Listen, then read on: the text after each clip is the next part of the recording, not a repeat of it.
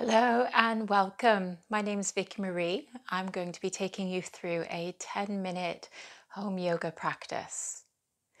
We're going to be starting in a child's pose today. So you may choose to come into traditional child's pose where the knees are closer together or a wide knee child's pose where the big toes meet behind. Regardless of which version, we're going to begin to melt the chest forward, hands coming forward. And just beginning to drop the forehead down towards the earth. If you'd like, you can make a pillow with your fists or your palms, or just letting the head come down.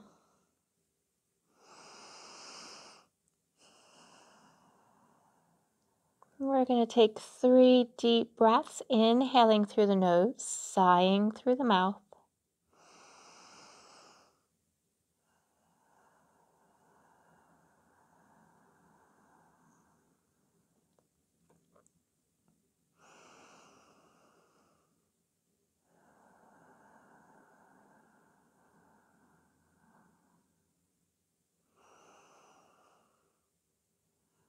When we're ready, we're going to begin to come into a tabletop position all fours. So slowly lifting the gaze, hands out in front. And then we'll begin to bring the knees underneath the hips, making a box-like shape with the body. Wrists underneath the shoulders, starfish fingers. We're going to take a few rounds of cat-cow. On the exhale, we're tucking the chin in, rounding the spine, coming into your cat. Inhaling, coming into your cow. Lifting the gaze and the tailbone. And just moving between these two postures of cat cow with your breath. Inhaling cow.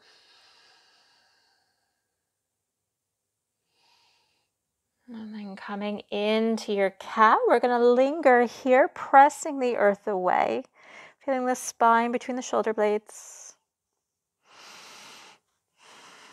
And then slowly coming into a neutral tabletop. We're going to begin to come into a tiger. So you're going to extend that left leg behind you, heel shining towards the back of the room. You can stay here with the left foot in contact with the earth or lifting that left leg from the hip. Again, staying here, taking that right arm in front. So we're balancing on that left hand, right shin.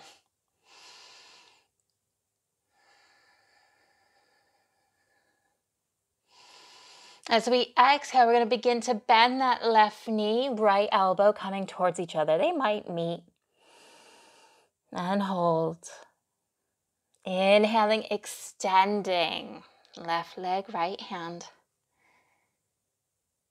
And they're going to begin to release that right hand. We're coming into a curtsy.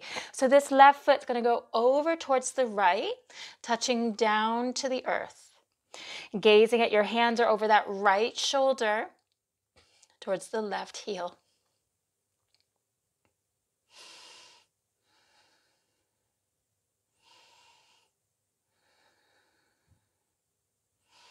Bring the gaze back to center, left foot back, and then we're releasing that left knee to the earth. We're going to take some hip circles. So those sit bones coming down towards the heels.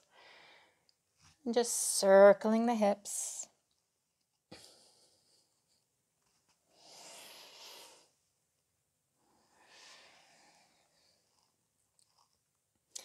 And then we're going to come back to our neutral tabletop position of all fours. Beginning to extend that right leg behind you, toes in contact with the earth. And then lifting that leg from the hip. We can stay here, taking the balance a little bit further, left arm in front.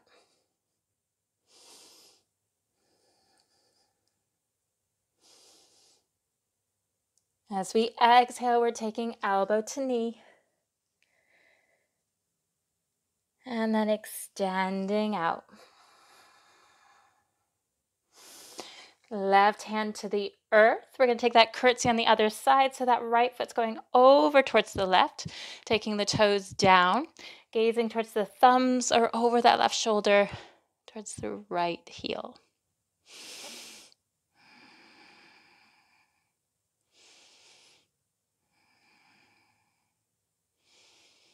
Bring the gaze back to center, right leg back. And then we're taking that right knee down to the earth, taking those gentle hip circles.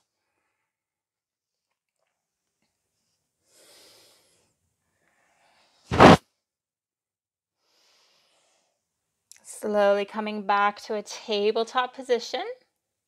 We're going to be coming into a downward dog. So you're going to tuck the toes, maybe taking the hands a little bit further forward. We're making a V shape with the body. Belly button to the spine, begin lifting the knees, sending the sit bones up towards the ceiling, upside down V. Within your downward dog, you might bend one knee and then the other.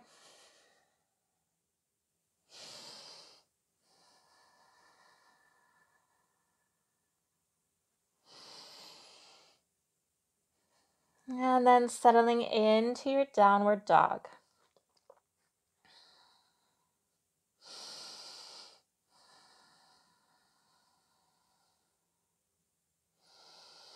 One more round of breath here. And then we're going to begin to bring the gaze forward. We're going to be rippling into a plank pose. So coming up onto the balls of the feet, shifting the weight forward into your plank pose. Taking a round of breath here. Exhaling back to your downward dog. Coming up onto the balls of the feet, rippling the weight forward. Tabletop. Exhaling, downward dog. We're going to begin to come into a tabletop position of all fours, releasing the knees down to the earth. Untucking the toes, we're going to come into our child's pose. Sit bones coming down towards the heels. Hands can stay forward, or again, you can make a pillow with the hands.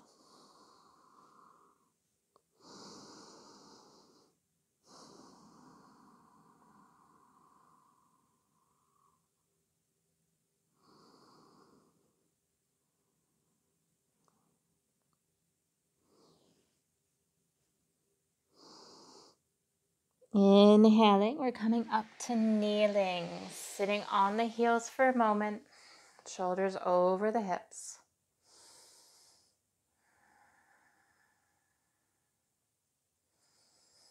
Taking the hands back into our tabletop, we're going to be coming into Malasana, yogic squat. So you're going to tuck the toes, walking the hands towards the knees with the support of the hands, lifting the knees from the earth. I'm going to change direction.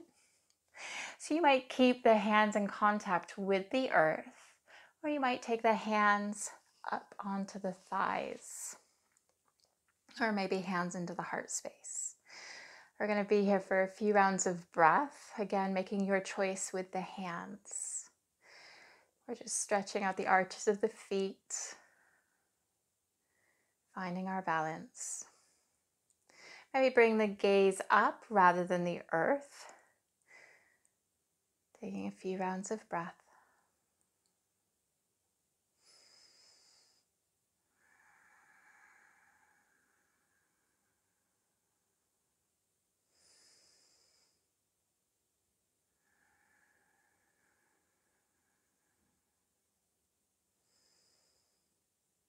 If we've taken the hands to the heart, thighs. We're going to release them down. We're just going to slowly come down onto our knees, untucking the toes, coming into a kneeling position. If this is uncomfortable, coming into an easy seated position.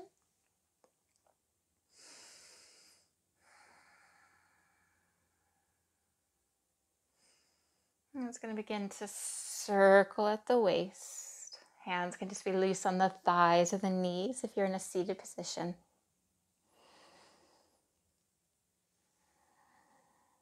And then we're going to begin to go in the opposite direction.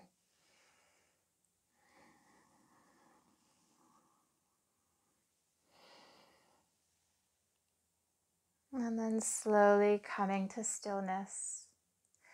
Inhaling the arms up overhead, palms might meet. On the exhale, bring the hands into the heart space. Slowly bowing the head to the hands in gratitude for investing in your practice and gifting yourself 10 minutes. Thank you very much for sharing this practice with me. If you'd like to join me for other practices, check out the other videos on my channel, hit subscribe and like, and otherwise, I will see you again soon.